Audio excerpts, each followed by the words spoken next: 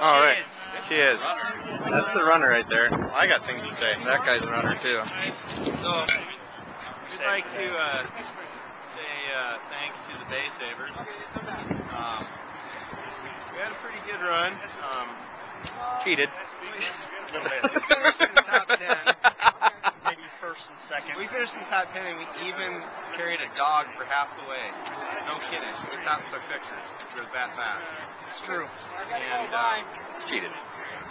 You know, I'd also like to thank our sponsors initially at the race, um, Magner's Hard Apple Cider and uh, Harp Beer, um, and then the training house of uh, John Foley's Irish House. Pub or something. It's one of those two. We're taking sponsors, exceptional athletes, Nike, Adidas, Reebok. Anchor Steam Baywater. It's beer made with authentic bay water and Steam. and steam.